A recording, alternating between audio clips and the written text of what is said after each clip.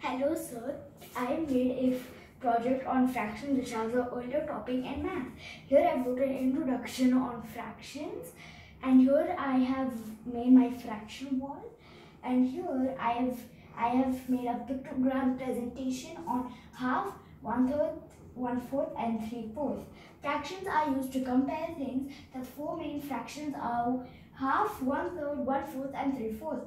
Half represents half of only even numbers and one third represents one out of three and the last one is one fourth. One fourth represents one out of four like a quarter and the, then we still have three fourths. Three fourth is is not the same as one fourth. Three fourth represents three out of four but one but one fourth represents one out of four. Bye.